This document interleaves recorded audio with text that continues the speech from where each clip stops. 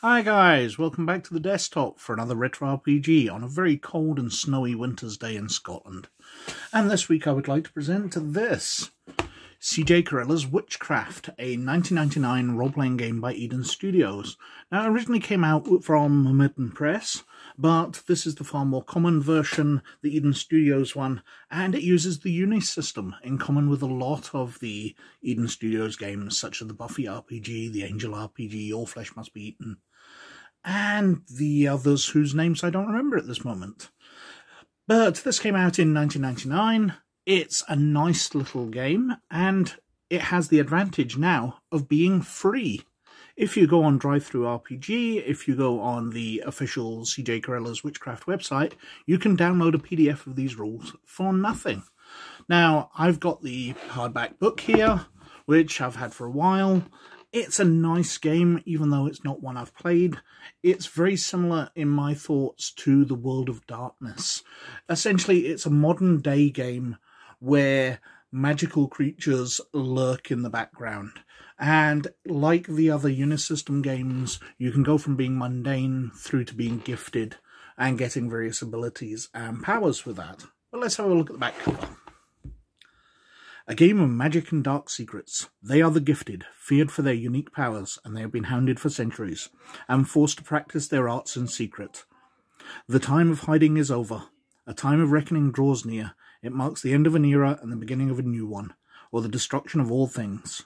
The choices the gifted make will determine what the future will hold. Witchcraft is a complete role-playing game. In it you will find a fantastic setting filled with magic, witches, sorcerers, psychics, and the mystical. Detailed character creation rules for the gifted, lesser gifted, mundane, and bast. The bast being the only truly magical species among them, everybody else being humans with powers. A full exposition of the Unisystem rules mechanics, useful for any game in any time setting. Background information on the six associations, the Wicce, the Rosicrucians, the Sentinels, the Cabal of the Psyche, the Twilight Order, and the Solarites. The Solitaires, sorry. Comprehensive descriptions of four metaphysical arts, magical invocations, the second sight, necromancy, and divine inspiration. An overview of supernatural elements of the witchcraft setting, including spirits, ghosts, undead, and other creatures from beyond mundane existence. So, although it's World of Darkness like, it's probably closest to Mage. And it's quite a cool game. Let's have a flick through. As I said, I've never played this one, so I'm not that familiar with it. We've got the introduction to the setting here in the form of a diary, sort of setting out different times, telling us as the story goes onwards in different places. Really setting the scene. And there's some lovely artwork. I really do like this artwork. Um, it's kind of grotesque and bizarre. Very nice stuff. But I have to say there's not that much of it. We'll see a bunch in the introductory pages, but I'll point out where I think it's lacking. Um, the Witchcraft RPG, so describing what the RPG is. Then we go into the setting itself. The world. The time of reckoning. The gifted. We go through all that. The covenants. Metaphysics. So the powers. Magic the sight, necromancy, divine inspiration, religion in witchcraft. And then we're on to roles, so character, creation itself. Now that's very nice, very demonic. It looks like first just like a skull where the skin's melting off. But you can see there's a demon, the horns and things through here. It really does remind me of Angel, where you had the sort of uh, spiked demons who could disguise themselves as humans. Got various archetypes, so you choose what your archetype is. You know, you're a avenger, someone has uh, wronged you, and now you seek revenge. You're a daredevil, you love to take chances. To you, life without adventure and risk is not worth living. And it gives you lots of suggestions of different types. Now, of course, you don't necessarily have to take these on, but they do help. So you've got seekers of knowledge, students, survivors. As I said, some lovely artwork through it. Wanderers, warriors, weird ones. Character types. So it goes through the gifted. So Gifted have fully fledged magical powers. We've got lesser gifted, characters with only a touch of supernatural. Mundanes, they have no supernatural skills at all. But they gain in their ordinary skills. And then we've got a big section on the Bast. So, feline shapeshifters, which are the truly magical creatures in the game. We go through character associations. So what kind of magical group you're associated with. The Rosicrucians. The Sentinels. The Twilight Order. The Solitaires. As I said, lovely, lovely artwork. We go through what the attributes are. So the usual strength, dexterity, constitution, intelligence, perception and willpower. How to calculate secondary attributes are life points, endurance points, speed, essence points. Then we've got advantages and disadvantages, qualities and drawbacks as they're called. So, addiction, adversary, clown, covetous. Now, I've heard people criticising witchcraft because of this image in particular, because it's got a swastika on it. But, let's be honest, it's a demon. They're not supposed to be good things. They're supposed to be demons. So while I am absolutely against Nazism and anybody who thinks the symbol's cool and supports those policies, I despise making them the bad guys in a campaign's fine. You're allowed to play Call of Duty and shoot Nazis in the face. Um, so, going through the other ones emotional problems, honourable, humourless, lazy. There's various advantages and disadvantages, as there would be in any other system. You're a zealot. Then you're onto supernatural qualities and drawbacks. So, various magical effects which can have your character. Then we're onto skills. Standard bunch of skills, so acrobatic, acting, beautician, computing, escapism. Rather oddly for escapism, it's the ability to escape from ropes, handcuffs and other restraints. Um, I wouldn't say that's escapism, I would say that's escapology. That escapism is being able to escape the real world and imagine cool things. Very much like playing a role-playing game, but just a slight wording difference in the way I think, perhaps The metaphysics, and um, possessions. Then we're on to archetypes. Now this is one of the areas I think witchcraft does lack. Because while we've got an archetype here, you can be a Wicce healer of nature, and you've got all the stats there. There is no image. So if you're just sitting down to play, there's nothing to give you anything to get your teeth into. If I'm just walking in, I do not know anything about this character if I'm turning up last minute for a game session and just grabbing a template. That's very different from More Flesh Must Be Eaten, where they have full colour plates and the images are really strong, probably because of the horror background of that. I'm also thinking of Shadowrun where there's all the templates and very clear images because I've used templates in Shadowrun a few times where I just wanted a simple character. I didn't want to really think about too much what I was creating. Rosicrucian Stage Magician. Rosicrucian Troubleshooter. Bast Alley Cat. I go through different types. Sentinel Warrior Scholars. Lots of different templates, but without images and without wanting to read through all the text, I can't tell you too much. But what artwork there is is absolutely lovely. I just feel it would have been nice if these characters had been imaged just to give us something to go on straight away. So, the rule system itself, the Unisystem which is slightly different to another places, but not much. It's recognisable. There's obviously Witchcraft was the first place the Unisystem was published, and they've modified the rules since then. Basically, it's the later versions of games being second edition of the rules, etc. But they're very, very similar. Getting scared, fear effects combat. Um, let's keep skipping through.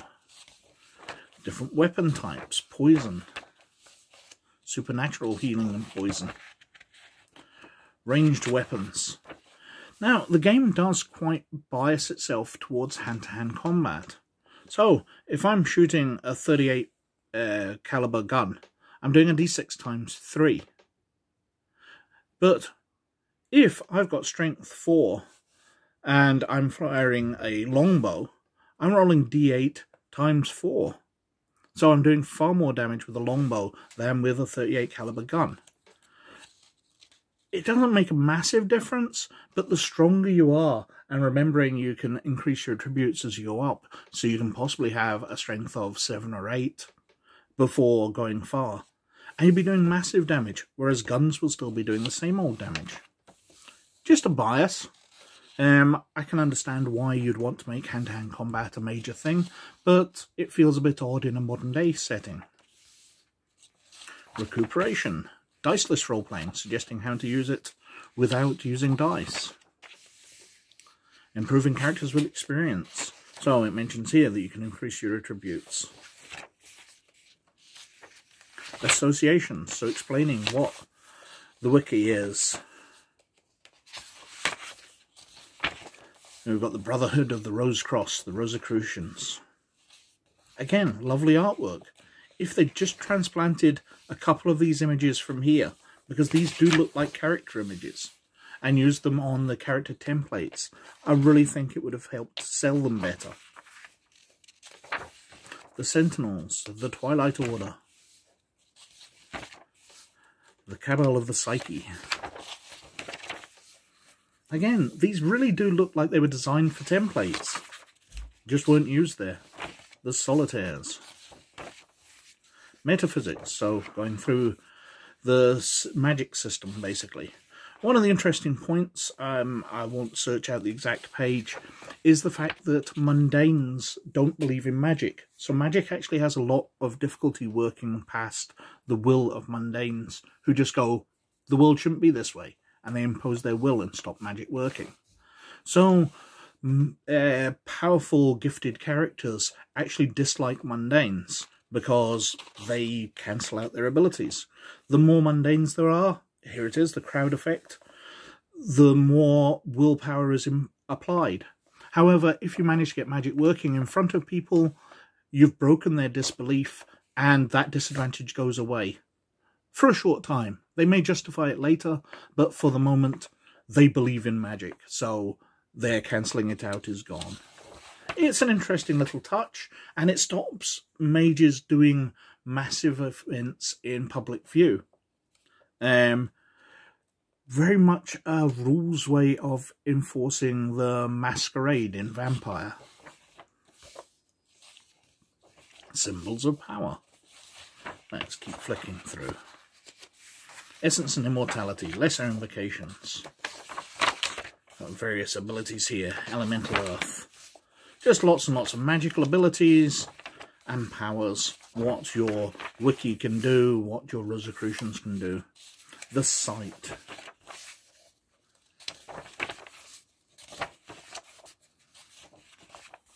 So many, just pages and pages detailing out exactly all these abilities because it's a game called Witchcraft, so magic shouldn't therefore make up a massive part of the rules. Divine Inspiration, Miracles, the Inspired and Prayers. Then we've got the Supernatural. So, going through the history of the gifted, sensing the reckoning, the new generation, other worlds, supernatural beings, spirits, nature spirits, elementals, wildlings, spirits of the dead and ghosts, the undead, the relentless dead. Very cool names. We've got vampires with a Y, just to differentiate them, I guess. Weaknesses of the vampire.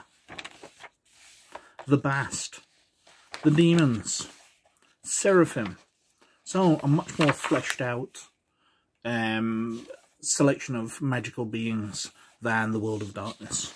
The Mad Gods. Some really interesting stuff that, to throw in here. The evil that men do. Followers of the Mad Gods. The Combine. We're getting to the end here with chronicling. So how to set up your campaign, create stories, power levels, campaign levels and the like. And we get to some charts at the end. I'll just put through those. Now, I haven't talked about the creator of this, CJ Carella, because he is quite a big name in role-playing. Um, I've actually done a number of his books and just never mentioned him before. CJ Carella was the author of the Rifts Manhunter game and worked on the staff writing Rifts books. Um, he's one of the names behind the Unisystem, so had a hand in revamping the rules for the Buffy and Angel games. But this is the first game I know of which had his name on the cover. And while all the other games he obviously was a major force behind, this is totally his creation. And it's a lovely, lovely game, and the fact that it's free now is absolutely marvellous. But, as usual, I think I've witted on for quite long enough. Thank you very, very much for watching. Please like, subscribe and comment below, as it does me massive favours with the YouTube algorithm. But, as always, most of all, you look after yourselves, and I'll catch you later. Bye now.